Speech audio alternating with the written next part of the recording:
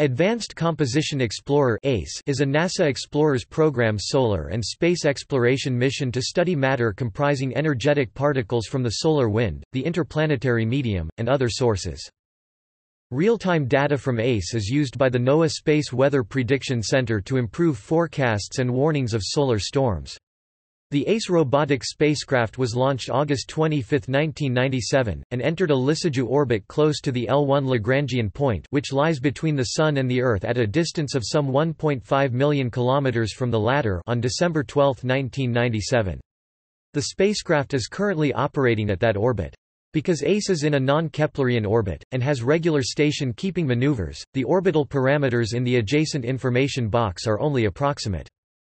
As of 2017, the spacecraft is still in generally good condition, and is projected to have enough propellant to maintain its orbit until 2024. NASA Goddard Space Flight Center managed the development and integration of the ACE spacecraft. Science objectives ACE observations allow the investigation of a wide range of fundamental problems in the following four major areas Topic. Elemental and isotopic composition of matter A major objective is the accurate and comprehensive determination of the elemental and isotopic composition of the various samples of source material from which nuclei are accelerated. These observations have been used to generate a set of solar isotopic abundances based on direct sampling of solar material.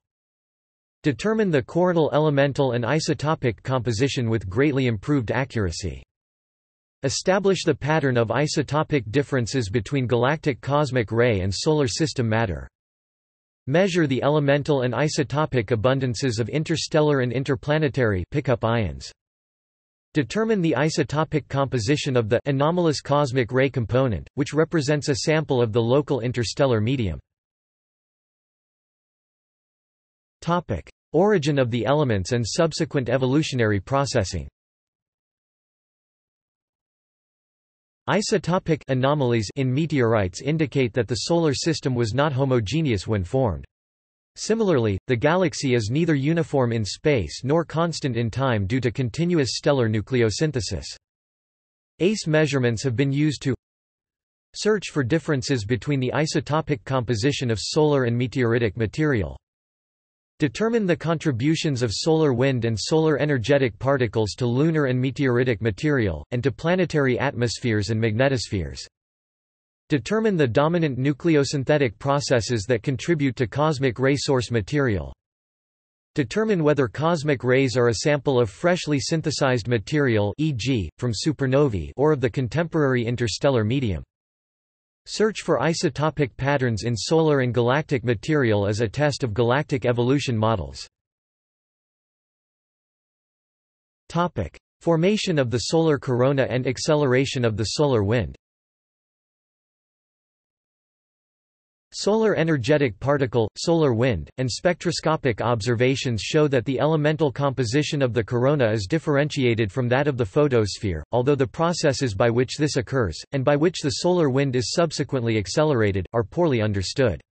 The detailed composition and charge state data provided by ACE are used to isolate the dominant coronal formation processes by comparing a broad range of coronal and photospheric abundances. Study plasma conditions at the source of solar wind and solar energetic particles by measuring and comparing the charge states of these two populations. Study solar wind acceleration processes and any charge or mass-dependent fractionation in various types of solar wind flows. Particle acceleration and transport in nature Particle acceleration is ubiquitous in nature and understanding its nature is one of the fundamental problems of space plasma astrophysics. The unique data set obtained by ACE measurements have been used to make direct measurements of charge and or mass-dependent fractionation during solar energetic particle and interplanetary acceleration events. Constrain solar flare, coronal shock, and interplanetary shock acceleration models with charge, mass, and spectral data spanning up to five decades in energy. Test theoretical models for 3 He-rich flares and solar gamma-ray events. Instrumentation Cosmic ray isotope spectrometer CRIS. The cosmic ray isotope spectrometer covers the highest decade of the Advanced Composition Explorer's energy interval, from 50 to 500 MeV, nucleon, with isotopic resolution for elements from Z approximately equals 2 to 30. The nuclei detected in this energy interval are predominantly cosmic rays originating in our galaxy. This sample of galactic matter investigates the nucleosynthesis of the parent material, as well as fractionation, acceleration, and transport processes that these particles undergo in the galaxy and in the interplanetary medium. Charge and mass identification with CRIS is based on multiple measurements of d, dx and total energy in stacks of silicon detectors, and trajectory measurements in a scintillating optical fiber trajectory soft. The instrument has a geometrical factor of 250 square centimeters senior for isotope measurements. Topic: Solar Isotope Spectrometer. The Solar Isotope Spectrometer provides high-resolution measurements of the isotopic, Composition of energetic nuclei from He to Zn Z equals 2 to 30 over the energy range from approximately 10 to approximately 100 MeV, nucleon. During large solar events SIS measures the isotopic abundances of solar energetic particles to determine directly the composition of the solar corona and to study particle acceleration processes. During solar quiet times SIS measures the isotopes of low-energy cosmic rays from the galaxy and isotopes of the anomalous cosmic ray component, which originates in the nearby interstellar medium. SIS has two telescopes composed of silicon solid-state detectors that provide measurements of the nuclear charge, mass, and kinetic energy of incident nuclei. Within each telescope, particle trajectories are measured, with a pair of two-dimensional silicon strip detectors instrumented with custom very large Scale-integrated VLSI electronics to provide both position and energy loss measurements.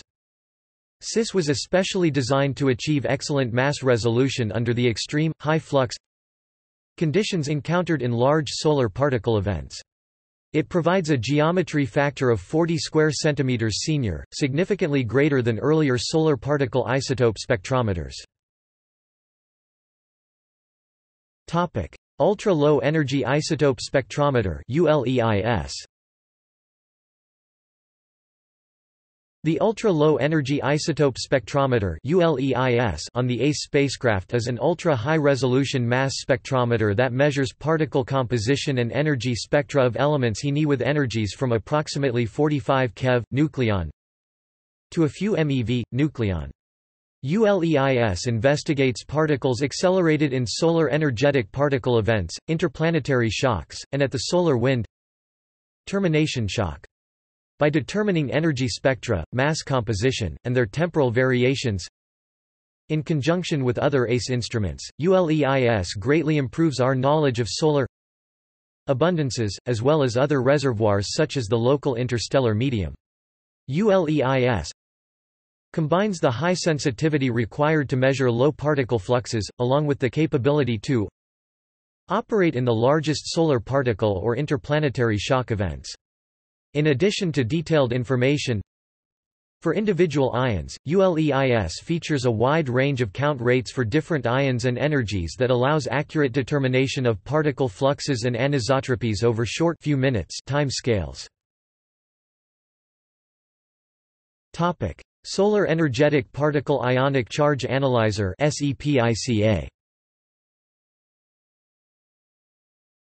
The Solar Energetic Particle Ionic Charge Analyzer was the instrument on the Advanced Composition Explorer that determined the ionic charge states of solar and interplanetary energetic particles in the energy range from approximately equals 0.2 MeV NuCl1 to approximately equals 5 MeV charge 1.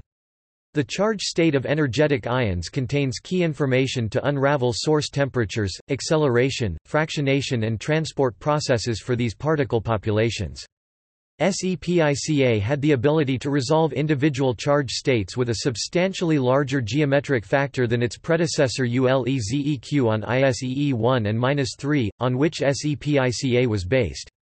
To achieve these two requirements at the same time, SEPICA was composed of one high charge resolution sensor section and two low charge resolution, but large geometric factor sections. As of 2008, this instrument is no longer functioning due to failed gas valves.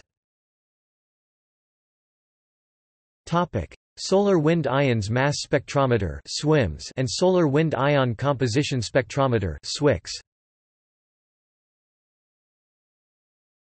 The Solar Wind Ion Composition Spectrometer and the Solar Wind Ions Mass Spectrometer on ACE are instruments optimized for measurements of the chemical and isotopic composition of solar and interstellar matter.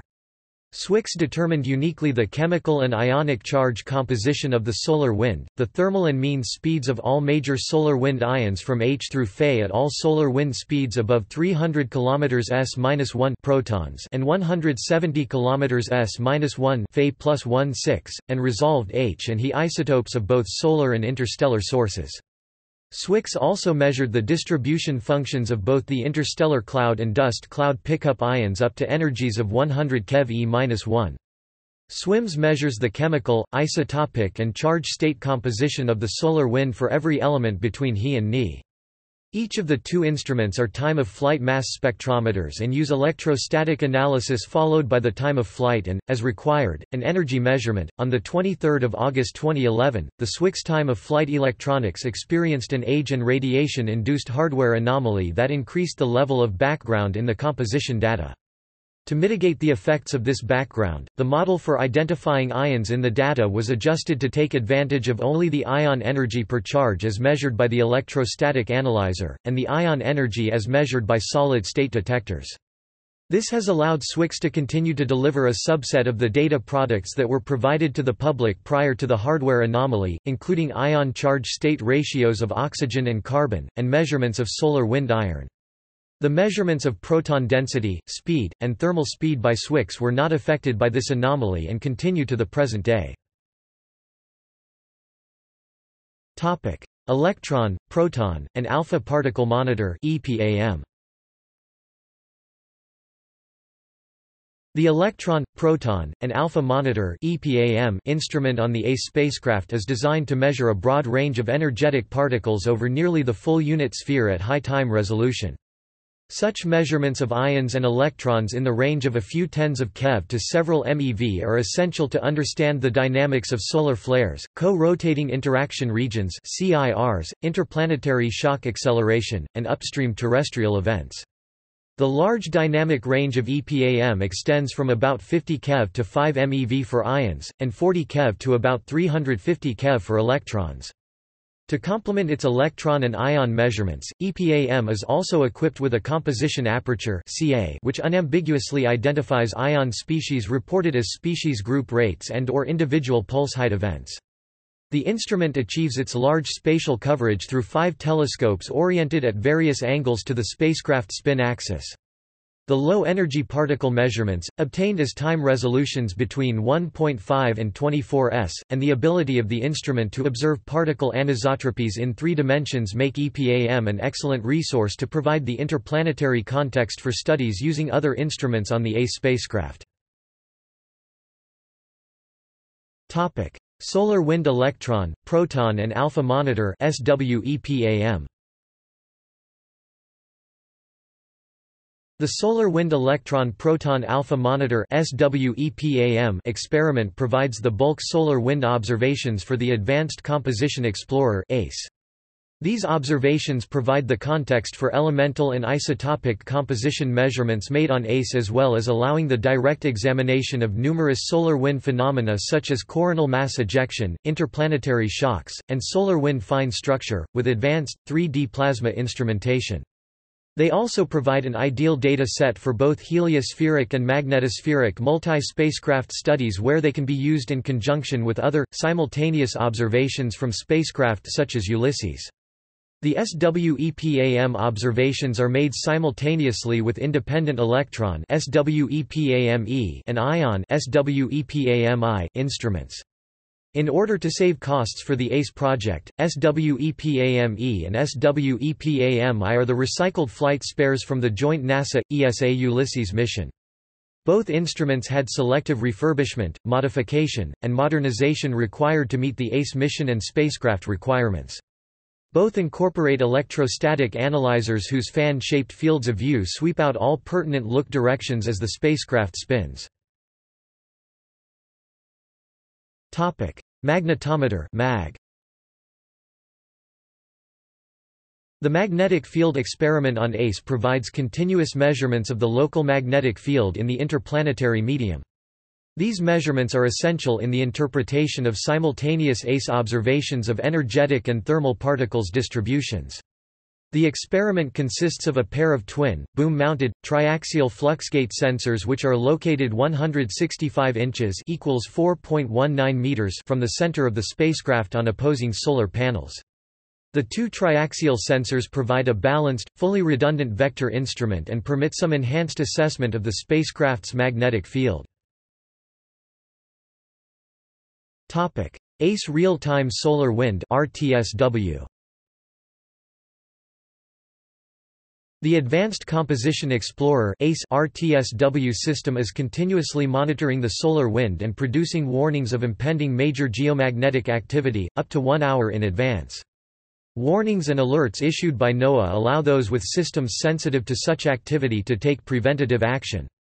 The RTSW system gathers solar wind and energetic particle data at high time resolution from four ACE instruments MAG, SWEPAM, EPAM, and SIS, packs the data into a low-rate bit stream, and broadcasts the data continuously.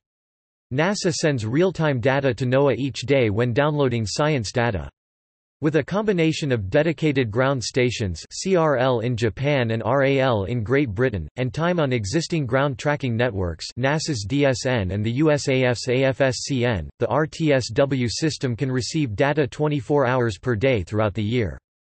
The raw data are immediately sent from the ground station to the Space Weather Prediction Center in Boulder, Colorado, processed, and then delivered to its Space Weather Operations Center where they are used in daily operations. The data are also delivered to the CRL Regional Warning Center at Hiraiso, Japan, to the USAF 55th Space Weather Squadron, and placed on the World Wide Web. The data are downloaded, processed and dispersed within five minutes from the time they leave ACE.